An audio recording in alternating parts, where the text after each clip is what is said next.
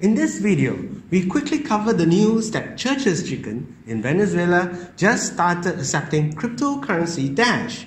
How does this affect cryptocurrency adoption in Venezuela and does this influence the rest of the world? This report covers a meaningful and interesting topic, so do watch to the end of this video to understand more.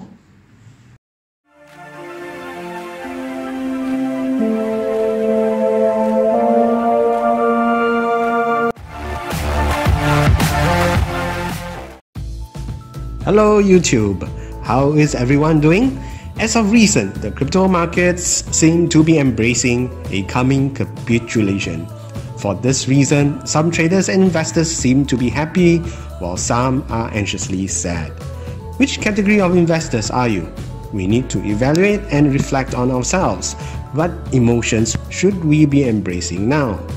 As most experts say, in this bear market now, it's time when the dumb money or weak hands leave while the smart money or strong hands come in.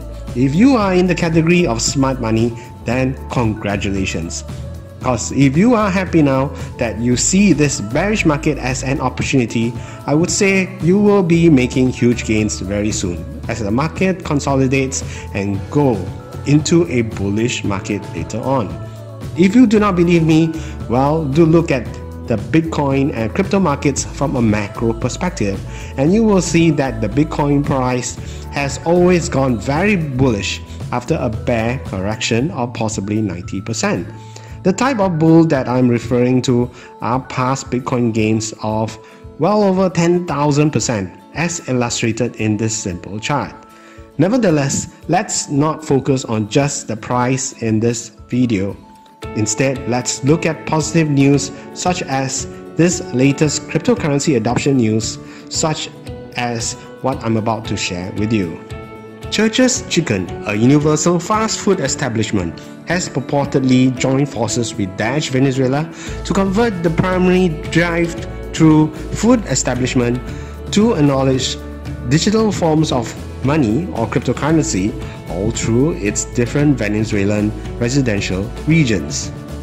As indicated in a public statement, a vital coalition between Dash Venezuela and Church's Chicken Venezuela will see 13 of such chains begin accepting this cryptocurrency as customer payment. This is possible as the management staffs at Church's completed their training to understand the digital cryptocurrency. Church's Chicken is the fourth largest chicken drive-through food chain on the planet as it has 1,700 eateries spread all through 25 nations. This establishment's delegates in Venezuela are hoping to advance the cryptocurrency as a major aspect of the move. Orlando Nayas, the chief general of Church's Chicken Venezuela, highlighted that he buckled down with the support gathering to diligently prepare the establishment's staff to acknowledge customers' payments in the form of the cryptocurrency.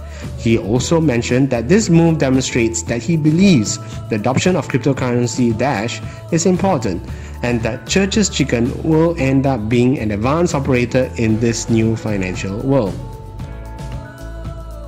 Bradley Zastrow, the worldwide executive of business development at Dash Core, remarked the development is a fantastic job in codes, which empowers the digital currency's development in Venezuela.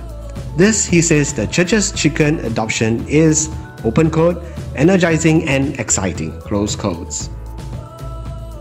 Relating to this report, there was news that KFC Venezuela is accepting Dash.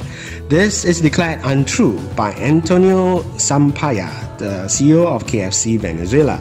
He uncovered that the KFC Venezuela chain isn't accepting Dash payment at this point of time. Dash Merchant Venezuela, an association advancing the crypto's adoption in the nation, later on tweeted out an open statement of regret to KFC Venezuela. Now, for the crypto meme for the day. Ah, ha, ha. oh, that's hot. That's hot. Brace yourself.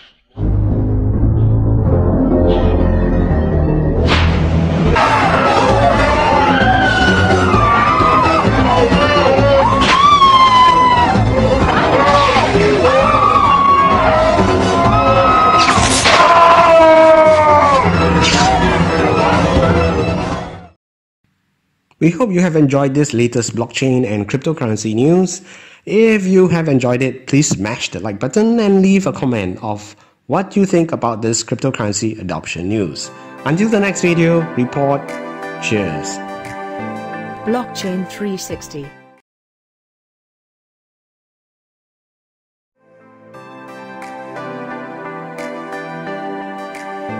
Blockchain 360.